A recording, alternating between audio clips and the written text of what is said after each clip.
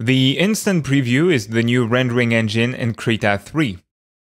Krita will give you a preview of your brush strokes and other drawing operations on the canvas, and in the meantime, it's going to make heavy calculations in the background.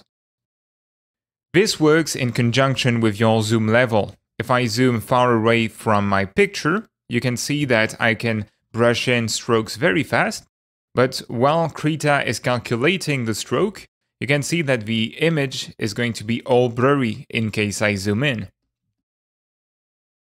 This is exactly what it does. It just gives you a preview of all sorts of things.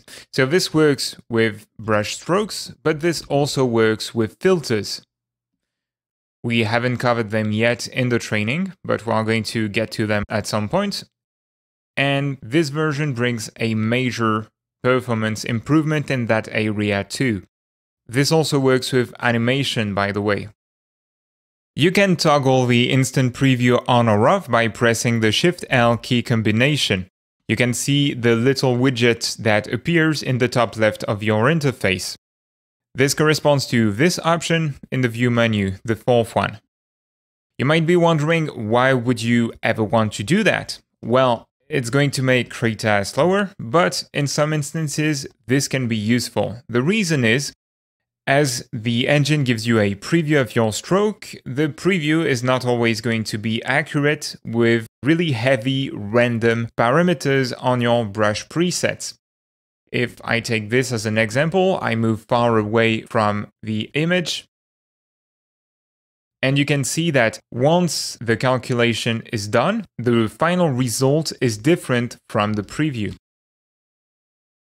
So this only happens with random brushes and any brush engine that would be random in nature. And this doesn't always happen. In my experience, I haven't had to disable the instant preview once. But I know that with the Color Smudge brush engine, for instance, you can see that sometimes the preview is a bit light compared to the final stroke, especially if you are looking at your document from very far. If you have a brush preset that's especially random or that doesn't work with the instant preview, you can also use that little checkbox at the bottom of the brush editor. This is going to toggle instant preview off for that brush preset only. And this is going to be saved with the preset. You can see that if I switch to another preset, this is checked and this is unchecked for the preset I just overwrote.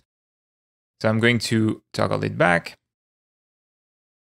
I told you that the engine works with the brush tool as well as with the filters. Basically, the most important filters in here, you will get a preview of your blur or of the common ones like HSV, HSL adjustment. But not only, it's also going to work with the generic drawing tools. I don't know if you've tried them, but some more geometric drawing tools with, with the Bezier curve and all that stuff. And not only that, it also works with the Move tool. So the Move tool, you press the T key, it allows you to translate your layers. And if I move in on my layer, you can see that it's a bit slow. Well, it used to be just as slow if you would zoom out on your picture.